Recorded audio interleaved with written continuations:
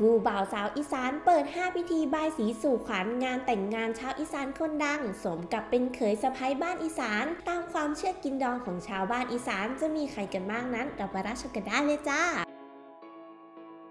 คู่ที่ 5 ธัญญาอาสยามและอาโล เคยสะพายคู่รักข้ามโขงไทยลาว หลังจากที่ถูกหวานใจไฮโซ ดีกรีเศรษฐีเมืองลาวถูกขอแต่งงานทางกลารบรรยากาศสุดโรแมนติก เนื่องในวันครบรอบรัก 1 ปีเต็ม และในเดือนแห่งความรักทั้งคู่ได้ถือเลิกดี เข้าพิธีมั่นหมายบายสีสู่ขวัญสุดชื่นมื่น โดยหมอทำขวัญก็ได้มีการอวยพรคู่บ่าวสาวเก้าปันเก้าสิบสองให้เจ้าแลน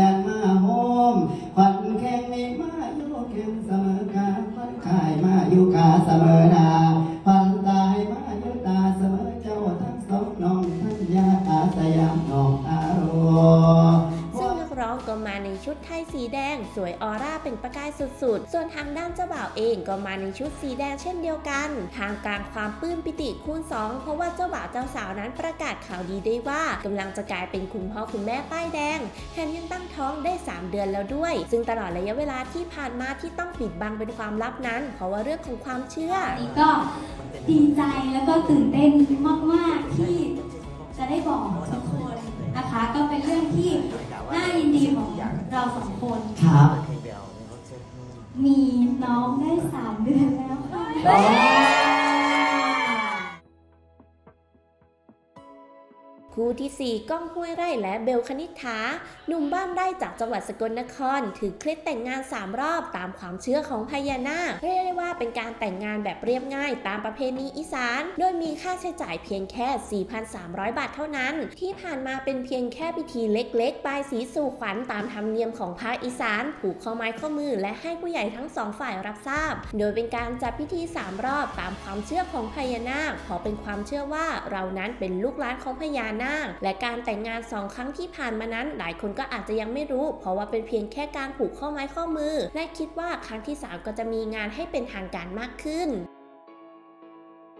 คู่ที่ 3 ตุ๊กกี้ชิงร้อยชิงล้านและบูบู นักแสดงสาวตลกชื่อดัง ชาวอุดร ที่ได้ถือเลิกดีกับแฟนหนุ่มนอกวงการเมื่อวันที่ 25 ธันวาคมในปี 59 เข้าประตูวิวาทที่บ้านเกิดจังหวัดอุดรธานี ซึ่งงานแต่งงานของทั้งคู่นั้นจัดขึ้นแบบเรียบง่าย มีพิธียกขันหมาก พิธีบายสีสู่ขวัญผูกข้อไม้ข้อมือตามวิถีของคนอีสาน และหลังจากที่ยกขันหมากเป็นที่เรียบร้อยแล้ว ทั้งเจ้าบ่าวเจ้าสาวได้เปลี่ยนชุดทำพิธีบายสีสู่ขวัญตามประเพณีของชาวอีสานมาในชุดกินดองห่มสบายตัวเสื้อเน้นโทนสีชมพูขาว ทางเจ้าสาวมีการสวมผ้าสิ้นเป็นลวดลายพิเศษ ส่วนทางเจ้าบ่าวนั้นก็จะเป็นลายผ้าขาวม้า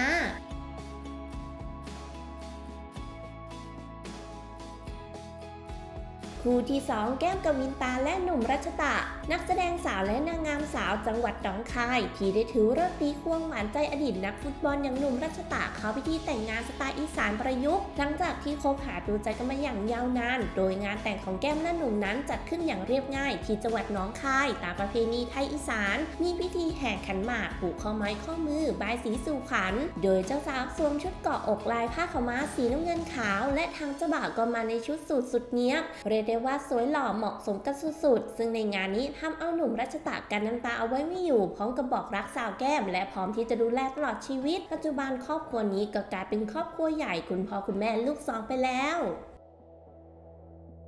คู่ที่ 1 แอนอรดี และบอยสิริชัยนักร้องลูกทุ่งหมอลำสาวชาวจังหวัดขอนแก่นเข้าพิธีแต่งงาน โดยทั้งคู่ถือเลิกงามยามดี เป็นวันที่ 29 เมษายนในปี 2566ควงคู่เข้าพิธีสุดชื่นมื่น บรรยากาศสุดอบอุ่น เต็มไปด้วยความรัก ทั้งคู่ได้จัดพิธีแต่งงานแบบชาวอีสานด้วยพิธีบายสีสู่ขวัญตามขนบธรรมเนียมประเพณีสำหรับสินสอดที่เจ้าบ่าวหอบปนันก็สุดอลังการ มีทั้งแหวนมั่นเพชรน้ำ100กะรัตเงินสดจำนวน 4 ล้านบาท ทองคำแท่งจำนวน 100 บาท ชุดแหวนเพชรและทองรูปพรรณจำนวน 20 บาท มีโฉนดที่ดิน 10 ใบ นาฬิกาโรเล็กซ์จำนวน 4 เรือนโดยในพิธีบายศรีสู่ขวัญคู่บ่าวสาวก็มาในพิธีผูกแขนช่วงเช้า โดยชุดนี้ก็มาจากคำคูณแกลเลอรี่ บัลลังก์ผ้าไหมแพรวา ซึ่งทางฝั่งเจ้าสาวมาในชุด detail เกาะอกผ้าไหมรัดรูป ให้เป็นเสื้อคลุมเปิดไหล่เพิ่มความแซ่บให้กับเจ้าสาว ส่วนทางด้านเจ้าบ่าวนั้นก็มาในชุดผ้าไหมไทยสีแดงเข้าคู่ เพิ่ม detail ด้วยสไบด้านหน้า เรียกได้ว่าสวยหล่อสมกับกิ่งทองใบหยก